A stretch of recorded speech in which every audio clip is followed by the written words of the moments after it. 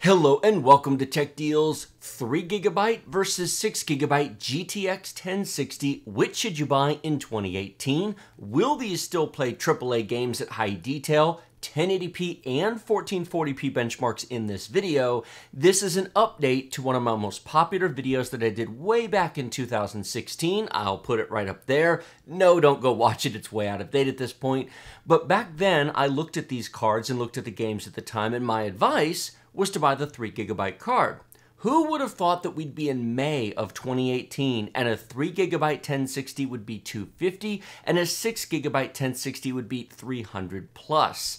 They didn't launch at that price. They launched at 200 and 260 respectively. So here we are nearly 2 years post launch and they are more expensive than they were in 2016. Now I'm going to give you some very specific advice later in this video as to which one I think you should buy, and I will briefly discuss the upcoming cards that are supposed to launch at the end of summer or early fall 2018, the 11 series of cards which have been quite delayed at this point. A few quick notes about the test bench setup for all of the benchmarks you're about to see. The Ryzen 5 2600X CPU was used. It runs at stock clock speed on the included cooler, which effectively works out to a 4 GHz clock speed on all 6 cores, 12 threads. If you're looking for the deal, the value for the money in a gaming CPU in 2018, that is definitely it, and it will last you for many, many years to come. If you do streaming or content creation, the Ryzen 7 2700X is worth buying, but for purely gaming, that's really where the value is. We have 16 gigabytes of DDR4 3200, which runs just fine on the new second gen Ryzen chips. It was kind of iffy on the first gen, but the second gen memory controller is much better, so DDR4 3200 is where it's at.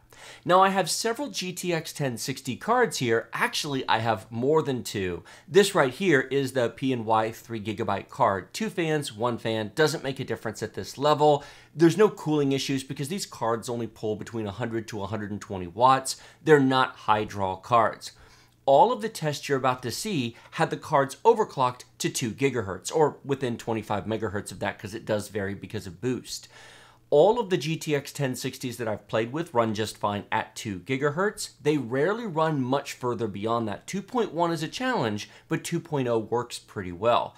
Out of the box, each of these cards have slightly different speeds, so they required slightly different boosts. Launch MSI Afterburner and simply add a boost of plus 50 or plus 75 or plus 100 to the GPU clock speed to get your GPU to 2 gigahertz. Linked down in the video description below will be links to Amazon and Newegg for everything that I show you in this video today, both the 3 and 6 gigabyte cards and the Ryzen 5 2600X, which is an awesome CPU. Now you can get one of the new X470 boards, which start at about $140, but frankly, it'll install just fine on the B350 boards. If you buy a new B350 board today from either Amazon or Newegg, it should be with an updated BIOS. As long as they were manufactured around December of 2017 or newer, which is now almost six months ago, then the boards will actually support this out of the box.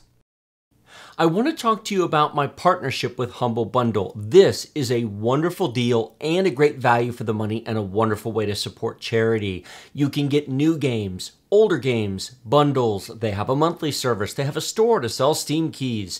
Humble Bundle has been around for a number of years now, and it really is a great thing because it gives you the opportunity to support charity, support your favorite content creator, such as myself, and get great deals. You can see here there's a number of bundles. They rotate these around and cycle them. They are not just games, they're primarily focused on games, but the one you see right here is actually a book bundle, an ebook bundle. What a deal! You can get all these ebooks for really, really inexpensive. They have a store as well, and you can get all the same games you get on Steam and elsewhere, but a percentage of your purchase here goes to support charity, and you can often get the prices lower than going directly to Steam. Before we get to the benchmarks, let's talk about the differences between these two cards, besides the VRAM difference, which is obvious 3 versus 6 gigs. There is a shader or CUDA core difference between the cards. 1152 CUDA cores versus 1,280. There's an 11% CUDA core jump between the 3 and the 6 gig cards. So in theory, if everything was perfect, there'd be an 11% performance difference, but it doesn't work that way in the real world. In the real world, you're going to see between a 5 to 10% raw performance difference in game benchmarks if the VRAM is not a factor. The 6 gig card is in fact faster, but the truth is, if you're looking at the difference between 72 frames per second on the 3 gig card and 78 frames per second on the 6 gig card, are you going to notice that in the real world? No, you aren't. It looks really nice on a benchmark chart where you're looking at graphs and you go, oh, well, I want to buy the faster card. That is why the benchmark charts will include dollar cost per frame per second. Is the extra performance of this card worth the money? On a pure shader uh, basis, in terms of the raw compute power, not even close. If you are not limited by VRAM, there is no way in the world the extra 50 to $70 the 6 gig card currently costs is worth the difference. But the VRAM might make up for the difference because more games are now requiring more VRAM. So let's talk about that. There are many misconceptions about what you need and don't need in terms of VRAM on video cards. First of all, NVIDIA has memory compression technology. The textures and other details loaded into the VRAM are actually compressed on board via a very high-speed texture compressor. It works very well, much better than the 900 series did. And so even though it only has 3 gigs of VRAM, it can very effectively store 4 gigabytes worth of stuff. Same thing on the 6 gig card. It can effectively store about 8 gigabytes worth of stuff in the 6 gigs of VRAM. This is why these cards are comparable in terms of storage to the 4 and 8 gigabyte versions of, say, the RX 580 because of the better memory compression technology. Having said that, when they run out of VRAM, know your games and programs will not crash. What happens is, is the video driver then falls over to main system RAM and takes extra textures and details that don't fit into, say, the 3 gigabytes of VRAM and puts it into your main system RAM. Now, if you've got 16 gigs of RAM, you're generally fine. 8 would be limited here, but with 16 gigs, you generally are going to have a couple of extra gigs free in most modern games for it to fall over into. No problem, so you only need the 3 gigabyte card. Well, the only problem with that is the GDDR5 video RAM on these cards is multiple times faster than your DDR4 RAM is in your system it does make a difference. When you run out of VRAM, there is a noticeable performance deficit. I'm going to show you that here in a couple of games in just a second. The question is, do you play the kind of games where the VRAM is an issue? The truth is, most modern games in 2018 don't, at 1080p high detail, need more than 3 gigs of VRAM. I said that in that video back in 2016, and had you bought one of these cards back in 2016, you'd have spent the past two years enjoying it not having a problem with the 3 gigs of VRAM at 1080p high detail. 1440p can be kind of sketchy and ultra detail as well, but then you run into performance issues because these cards don't really have the performance to say run Far Cry 5 at ultra detail. But that advice was then, and this is now. We are now in 2018. If you are going to go out and buy one of these cards, the question is do you now buy the 3 gigabyte card in 2018, or is it time to step up to the 6 gigabyte card? Now, before we get to the benchmarks, let me make this really, really simple. Get the 6 gigabyte card. The 3 gigabyte is enough today, but it isn't going to last very long at this point. It might have another year of effective AAA gaming in front of it, but by the time we get to 2019, it's going to run out of steam. Now, some of you might take exception to that and say, but wait a minute, back in 2016, did you not say to buy the 3 gig card, the 6 gig was pointless? I did, and I was correct, because that was two years ago. And so if you had followed that advice back then, you'd have gotten three solid years of use out of the card, which is about what you should expect out of a $200 level card these days. However, this is now 250, this is now 300, and this is now 2018. If I was buying either one of these today, I would spend the extra money at the current prices they're at to get the 6 gigabyte card. It's going to last you probably another year, maybe 18 months beyond the 3 gig card due to VRAM issues. It does have 11% more processing power on board. And when you look at the current prices, the price jump for the longevity for maybe twice as long that this will be useful 1080p high detail gaming, I think that's totally worth the money. Had graphics card prices followed the normal spectrum, then this probably would be 150 at this point, this would probably be 200 at this point, and this would still be a little bit more appealing given the percentage price difference. But because they're above their launch cost in 2016, yeah, I really would buy the 6 gig card.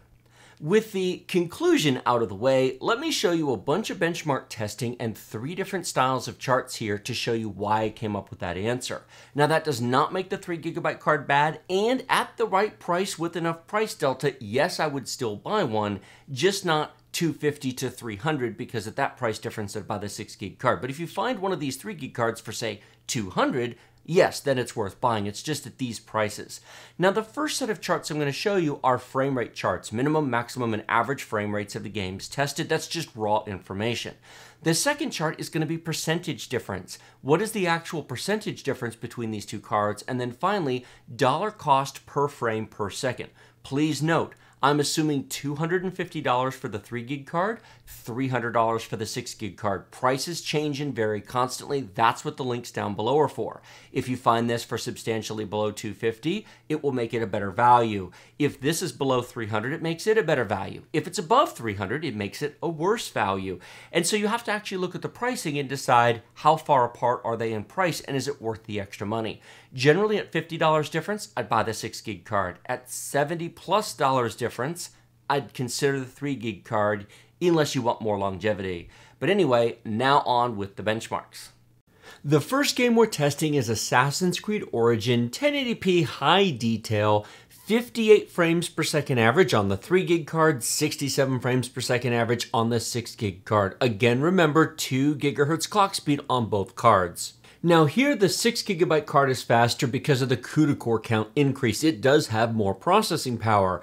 The question is, will you really notice the difference between 58 and 67? No, these are averages. Both cards go higher and go lower. Look at the minimums 36 and 42, and then 94 and 101 on the max. Now, this is the game's built in benchmark, and that's why there are not 1% and 0.1% lows. The benchmark is not long enough to really have those make a major effect. You really need 5 plus minutes of gameplay for 1% and 0.1% lows to really show their true colors. The key point here is that both of these cards will play Assassin's Creed Origins 1080p high detail at about 60 frames per second average. If you have a 1080p 60Hz monitor, set VSync on and it's simply going to run around 60 frames per second a majority of the time. This chart shows the percentage difference, average, minimum, and max, between the two cards. Now here's what's interesting. The average and the minimum are more than the 11% CUDA core difference wait a minute, so we're VRAM limited, there must be something else at play. No, um, you won't see them here in this video, but if you look at the extended uncut version of the video, which will be posted after this that contains the full benchmark runs, we are using less than 2.5 gigabytes of VRAM on both the 3 gigabyte and 6 gigabyte cards. They are both running at 2 gigahertz. It is the same machine run back to back, and it's less than 3 gigs of VRAM, so yeah, here's the difference. Because of the larger than 11% performance difference, the actual dollar cost per frame per second is closer than it's going to be in some of the other charts. $4.31 per frame per second on the 3 gig card, $4.48 per frame per second on the 6 gigabyte card. So the 6 gig card is still more expensive for the extra performance, but not by much. Please note 250 and 300 are the assumed amounts. If you're going to pay more or less than either card, it will affect these numbers.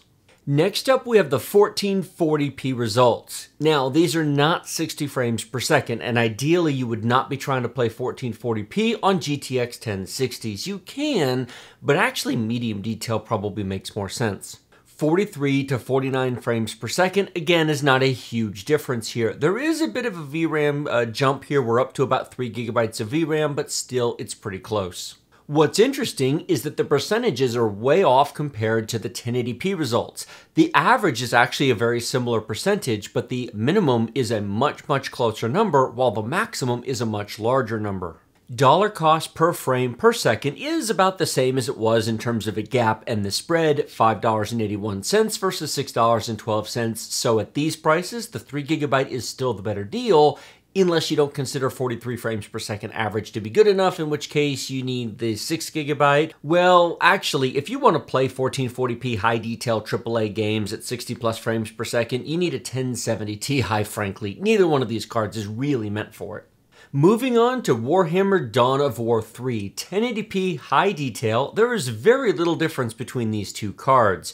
This sort of game does tend to be more CPU bound than graphics card bound. The built in benchmark's not all that demanding, and so at 1080p high, you can see here it makes very little difference. In the real world, 2 to 3% difference in the average and minimum. There is a 7% difference in the max, but we're talking about 100 plus frames per second, so it doesn't really matter. Based upon those numbers, this should not surprise anybody. $2.87 is a noticeable decrease in cost per frame per second versus the 6 gig card at $3.37.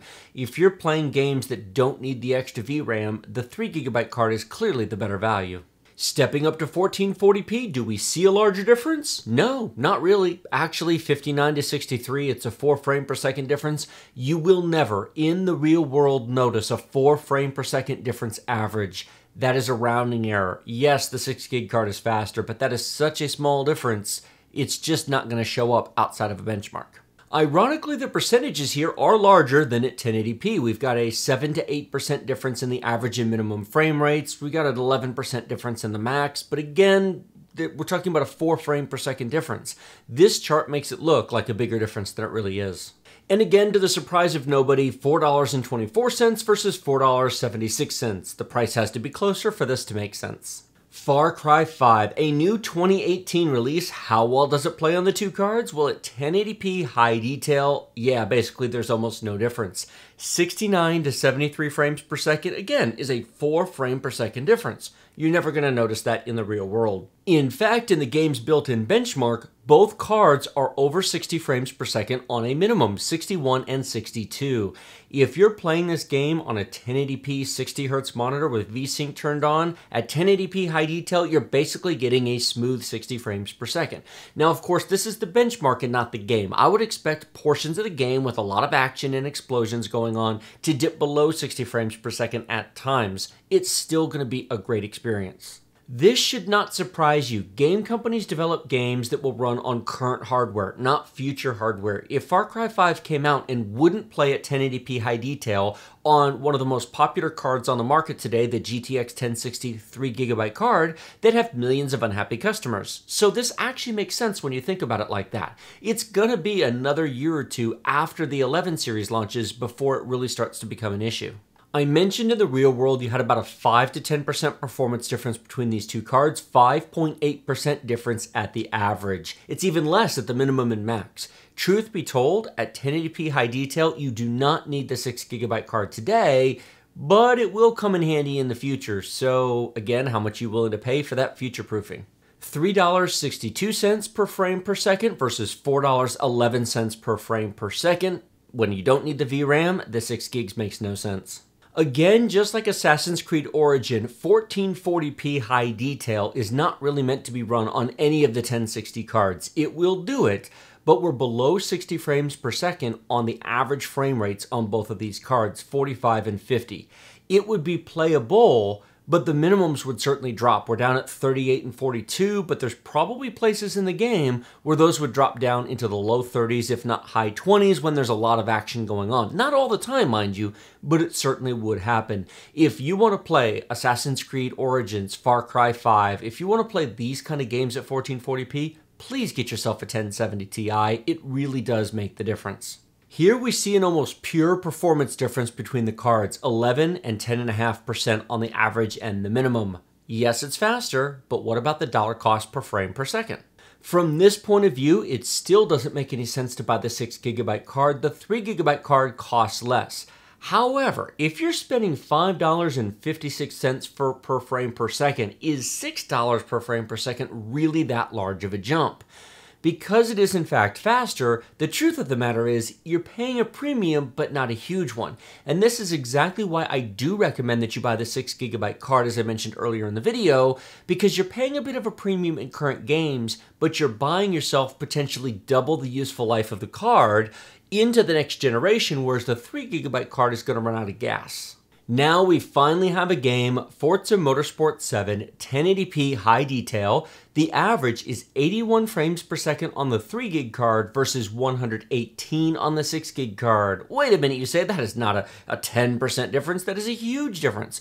Yes, As you will see in the next video where I actually do the complete uncut recordings of all these benchmarks, that is VRAM right there. We are completely VRAM limited and the three gigabyte card simply doesn't have enough. Now main system RAM usage is higher because the textures and details are falling over into the main DDR4 RAM, but DDR4 is dramatically slower than GDDR5 on the actual GPUs. That's what you're seeing right here. It's even more dramatic at 1440p, which I'll show you in a second. There are not very many games right now where 1080p high detail do this. The number can be counted on one or two hands. This number will increase over the next 12 to 18 months, which is why I said that at current prices in 2018, the 6 gig card is better because you're giving yourself much more time where the card is useful. Two years ago when they first launched, this didn't matter as much, but who knew we'd be here with cards above launch price retail two years later without a replacement? I would, however, like to point out that even the minimum frame rate is above 60 frames per second on the 3GB card. Yes, it's VRAM limited, but 73 frames per second, last time I checked, was greater than 60. So if you have this card and you want to play at high detail, it will play at over 60 frames per second. It just plays at a lot more frames per second on the 6 gig card. And here we have a percentage chart that finally shows a real difference 45% increase on the 6 gigabyte versus the 3 gigabyte, a 33% increase on the minimum, and a whopping 52% increase on the max. We finally found a game with a 6 gigabyte card. It's not required because 60 frames per second will still run on the 3, but what a difference. And to nobody's surprise whatsoever, this chart is finally swapped. $3.09 per frame per second on the 3 gig card versus $2.54 on the 6 gigabyte card. So this is what you can expect going forward in the future with more and more AAA games where more VRAM is needed for 1080p high detail gaming. Now you can always turn the textures down, you can always turn the detail down and get it to fit and get it to work. A 3 gigabyte card will not be useless in 12 to 18 months. You will just have to start compromising on the detail settings sooner. If you thought 1080p was a big difference, holy smokes, 1440p high detail. 55 frames per second average on the 3 gig card, 101 frames per second on the 6 gigabyte card. That is a monster difference. The same relative difference carries over to the minimum and the maximum frame rates as well. Side note for those of you curious, I did go in and manually set every detail. I am aware that in Motorsport 7, when you have things set to dynamic, the game plays around with settings. I did go into custom and I did manually select every item to high.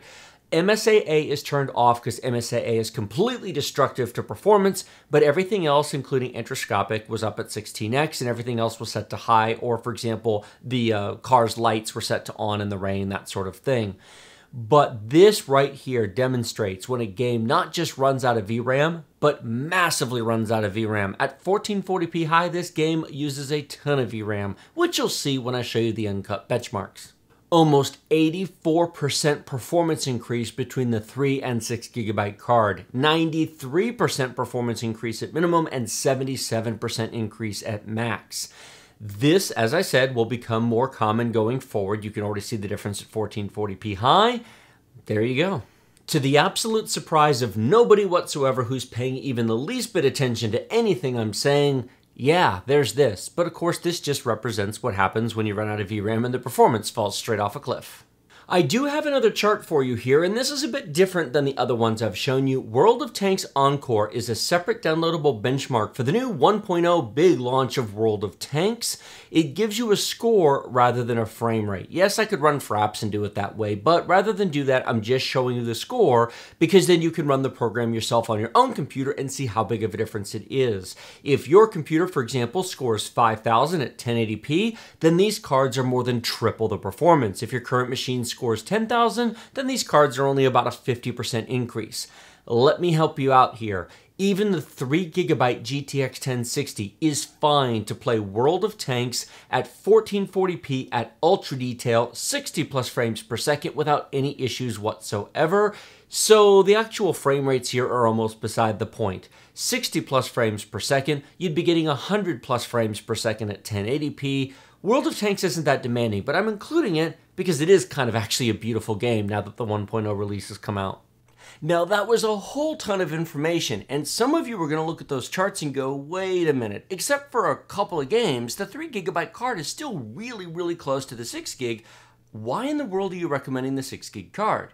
Because we're in 2018 and this doesn't have three years of life left in it for 1080p high detail AAA gaming it's got another year ish in front of it, in my opinion. Generally, that price point, the $200 price point where it was at launch, buys you three years of gaming. But we are two years into that three years of gaming. But because these are still the premier mid range cards from NVIDIA, because we still have no information on a launch date of an 11 series, I'm doing an update to show you what modern games look like and to show you a situation where the VRAM really does make a difference. It depends upon what games you play. But unless you know your games really well, unless you know specifically which games are going to have VRAM issues and which won't, that's why I think the safer bet in 2018 is to get the 6 gig card. It is worth noting that a GTX 1070 Ti is close to 500 these days. If this is over 300 and you're looking at a $200 or less price jump to a 1070 Ti, that actually might be worth considering because those are more than 50% faster in terms of compute power than this, have 8 gigs of VRAM, and will possibly last you twice as long as this will in terms of AAA gaming. But that's a whole nother price class. That is five plus hundred dollars, and that's not where most people buy video cards. But I will be doing an upcoming performance comparison between the 6 gigabyte card and the 1070 Ti just to show you what difference it makes, at least in today's games. To some extent, spend more, future proof yourself more. Buy a higher end card, and you can have more years of use in front of it. A 1080 Ti, for example, might seem overkill for 1080p gaming. It is to some extent today, unless you want really high frame rates, 144 frames per second or more. But the truth is, if you buy one, as expensive as they are, you just have that many more years of gaming in front of you before you have to replace it. I'm not recommending that today because of the current prices, but it's worth noting that basically with video cards, buy as much as you can afford, you will grow into it even if you don't need all of it today. I have mentioned the 11 series several times in this video. Those look like they're coming out sometime in the next three to six months, maybe August, September, possibly October timeframe. I don't think it'll be quite that long, probably end of the summer it looks like they're going to be a refresh. From the leaks that have now come out so far, it does look like they're going to be called the 11 series, not the 20 series. So 1180, 1170, and 1160. They are not, however, going to be the huge jump in performance that the 10 series was over the 9 series. It looks like they're going to be anywhere from 20 to maybe 30% more powerful at each tier. That's not confirmed, it's all rumors and leaks at this point, but given the current GPU situation and the fact that these are still selling for over retail, those are not going to be priced cheaply and they're going to sell out on launch day anyway. So unless you're prepared to put your pre-order in the minute those go up and just buy a reference card on day 1, if you can find one of these at a good deal, they may still be worth buying. And of course, if you need a graphics card today, well, 3 to 6 months from now doesn't help you. Like this video if you like it, share it with your friends if you loved it. Remember to subscribe to my channel with that big huge red button directly below. Questions and comments in the comment section, and as always, check the links in the video description. Links to Amazon and Newegg for everything here, the CPU, the graphics cards, the whole nine yards. Those are affiliate links, they do support the channel. If you appreciate the video that I've done here and all of the many days of hard work to put these together, please consider supporting me by using those links when shopping. I would greatly appreciate it. Further down a field are links to Twitch, Twitter, Patreon, Floatplane, and a couple of other things down there. Please go check those out. I would greatly appreciate it. Thanks so much for watching, and I will see you next time.